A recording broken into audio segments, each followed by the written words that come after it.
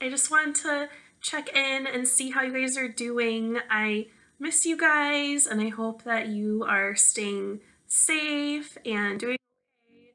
I know that we have a spring break coming up, so I really want to hear about your weekend um, or spring break plans. Um, what I'm doing is I am going to probably FaceTime with some of my friends and family and I'm also going to do some fun things for myself. I'm probably going to read and journal and catch up on some of my shows.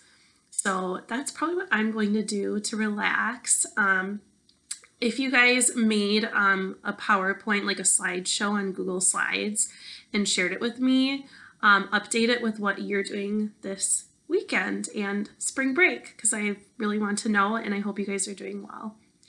Okay, love you and miss you.